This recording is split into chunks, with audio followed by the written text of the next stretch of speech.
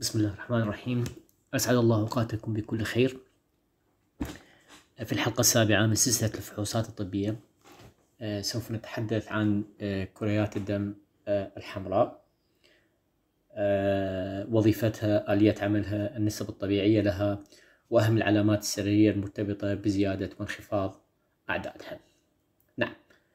تتمثل الوظيفة الرئيسية لكريات الدم الحمراء في نقل الأكسجين من الرئتين إلى أنسجة الجسم ونقل ثاني أكسيد آه، الكربون من الأنسجة إلى الرئتين هذه العملية تتم عن طريق الهيموغلوبين في داخل كريات الدم الحمراء حيث أن الهيموغلوبين يتحد مع الأكسجين وثاني أكسيد الكربون ويعطي الدم الشرياني مظهرا أحمرا آه، فاتحا.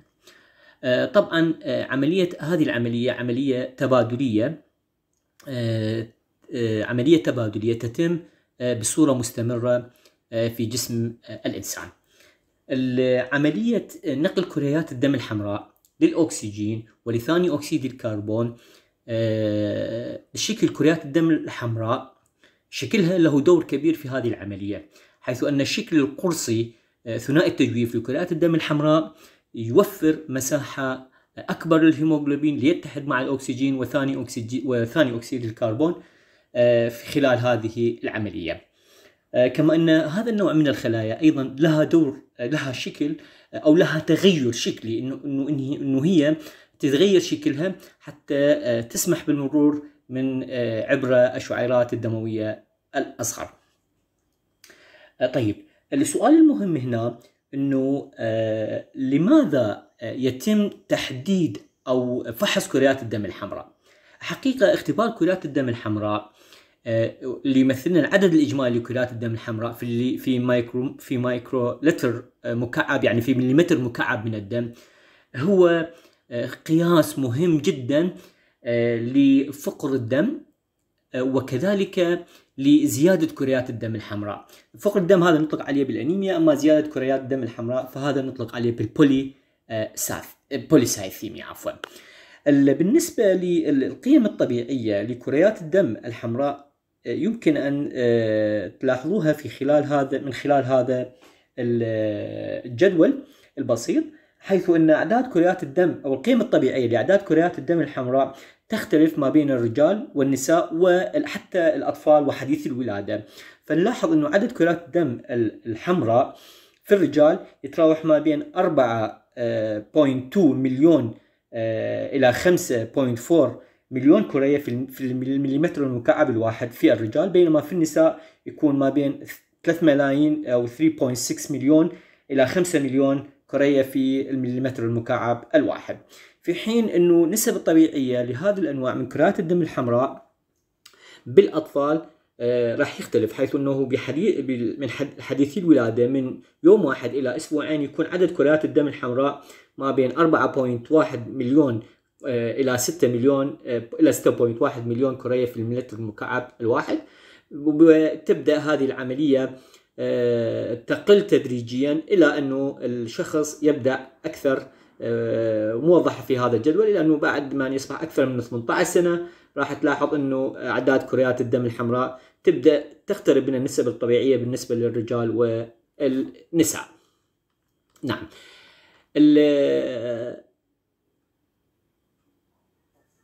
نعم الأعراض السريرية أو الآثار السريرية اللي ترتبط بزيادة وانخفاض كريات الدم الحمراء آه، تتعلق بكثير من الأمراض اللي يصيب بها الكائن الحي في حالة الزيادة أو في حالة الانخفاض.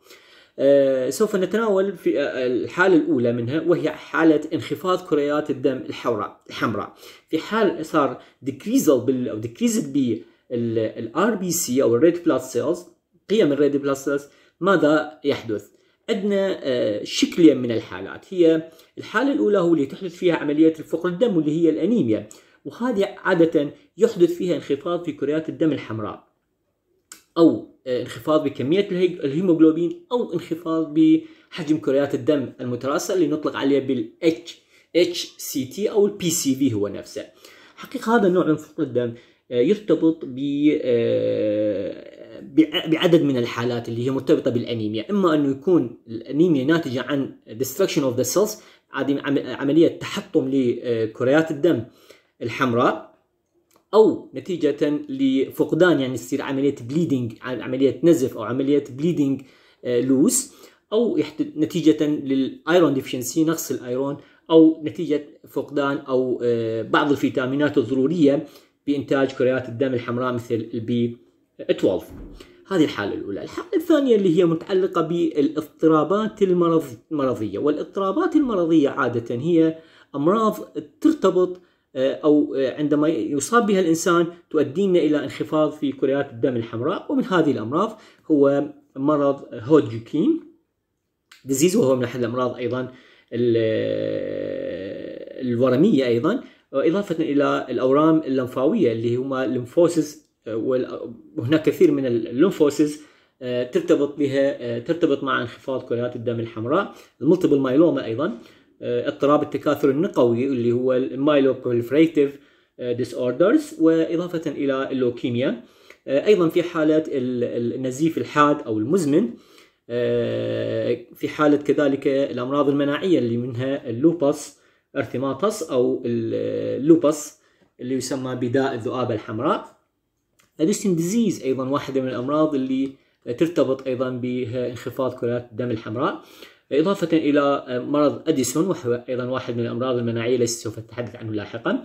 الحمى الروماتيزمية أيضا لها دور واللي هو rheumatic fever بعض الالتهاب الشغاف تحت المهاد أيضا هذا واللي هو يدعى بال subacute endocarditis إضافة إلى بالحالة العدوى العدوى المزمنة. آه هذا ما يتعلق بحالة انخفاض كريات الدم الحمراء والأمراض المتعلقة بها. النقطة الثانية أو الحالة الثانية هي حالة زيادة كريات الدم الحمراء وهذا ما نطلق عليه بال erythrocytosis زيادة الحرارة زيادة كريات الدم الحمراء مقسمة إلى شكلين أو مجموعتين. المجموعة اللي هي إنه مجموعة أولية واللي هو نطلق عليه بال primary erythrocytosis وهذه ال primary cytosis تكون بشكل حالتين. إما أنه تحدث لنا ال polycythemia اللي هي نطلق عليها بال polycythemia vera واللي هو هو يكون اضطراب بالتكاثر النقوي. نلاحظ بها ارتفاع كريات الدم الحمراء مع ارتفاع قيمة الهيموغلوبين. والحالة الثانية هو زيادة إنتاج كريات الدم الحمراء في نخاع العظم نفسه. هذا ما يطلق عليها بال erythremic erythrocytosis هذه الحالة الأولى اللي هو هذه الحالتين تتعلق بال primary erythrocytosis أما الحالة الثانية واللي هي تتعلق بال secondary erythrocytosis فعادة هذه ترافق أمراض الكلى واللي هو renal disease أو أحيانا حدوث ورم في خارج الكلى يعني على سطح الكلى وهذا نطلق عليه بال extra renal tumors أو أو تزداد أيضا في حالة الناس الأشخاص أو السكان اللي يعيشون في مناطق العائلة عالية عفوا. إضافة إلى الأمراض الرئوية وأمراض القلب أيضا ترتفع بها. وبعض الأمراض اللي هي لها علاقة باعتلال الهيموغلوبين وهو ما نطلق عليه بالهيموغلوبين بايو بايونوباثي أيضا. أيضا في حالات التدخين أيضا ترتفع فيها عدد كريات الدم الحمراء. طيب عندنا نوع آخر من زيادة بكريات الدم الحمراء لكن هذا النوع هو مرتبط بانخفاض في حجم البلازما. وهذه تحدث عادة في حالات الجفاف اللي هو الجفاف ناتج سواء كان عن القيء عن طريق الفومتينج أو عن طريق ناتج عن طريق الإسهال. وهناك بعض الحالات الأخرى تدعى بمتلازمة جاي سبوك. أيضا لاحظ بها زيادة في عدد كريات الدم الحمراء. عندنا نقطة أخرى هو نحب أنه نتعلق نذكر بعض العوامل اللي تتداخل وتأثر على عدد كريات الدم الحمراء. فأول هذه العلامات هو اللي راح نلاحظ الديهايدريشن ونقصد به الجفاف. والجفاف هذا يؤدينا اذا يؤدينا إلى يحجب تركيز يعني زيادة كريات الدم الحمراء عند البالغين المصابين بالجفاف. وهذا قد يكون ناجم عن حروق أو مثلا أحيانا انسداد الأمعاء المعالج أو أحيانا ال vomiting القيء المستمر واحيانا استخدام بعض أنواع المدرات. هذا الجفاف ينتج عنا عفوا يعني ينتج عنا فقر دم شديد ليس زيادة وإنما ينتج عنا فقر دم شديد يعني هذا ما يطلق عليه severe انيميا العمر له دور يتداخل أيضا بعدد بزيادة أو نقصان كريات الدم الحمراء. فلاحظنا إنه في حالات الحديثي الولادة تكون كريات الدم الحمراء أعلى من الأشخاص البالغين. الإجهاد أيضا stress أيضا يسبب ارتفاع في كرات الدم الحمراء. ومثل ما ذكرنا أيضا الارتفاع يعني شخص كل ما كان يعيش في المناطق العالية تلاحظ إنه بالصعود إلى المناطق العالية ينخفض كمية الأكسجين فحتى انخفاض كمية الأكسجين يتم تعويضه بعدد بزيادة بكريات الدم الحمراء. الحالات الحمل أيضا تزداد فيها عفوا حالات الحمل هي راح تنخفض بها يحدث انخفاض نسبي في عدد الكريات الحمراء حيث تنخفض يعني طرديا مع زيادة عكسيا عفوا مع زيادة سوائل الجسم أثناء الحمل. هناك بعض الأدوية أيضا تؤثر لنا وتسبب لنا انخفاض أو زيادة في عدد كريات الدم الحمراء. هناك بعض العوامل الخارجية يعني العوامل الخارجية المتعلق بأثناء سحب الدم يعني في المختبرات مثلا إنه الأنبوب اللي هو ال tube ال EDTA المستخدم في عملية بعد عملية السحب يعني بعد عملية تحدث عملية سحب الدم ووضعه في داخل هذا الأنبوب tube عفوا يجب أن تكون كمية الدم من تشكل ثلاث أرباع ثلاث أرباع أو هو حقيقة موجود line أو فت خط بالنسبة لكل tube يجب إنه يمتلئ إلى حد هذا الخط حتى تكون قيمة كريات الدم المحسوبة في داخل هذا الجهاز دقيقة. وأيضا يجب عدم تجلط عينة الدم حتى لو كان هناك تجلط بسيط فهذا أيضا يأثر على على قيمة كريات يأثر على كريات الدم اعداد كريات الدم الحمراء.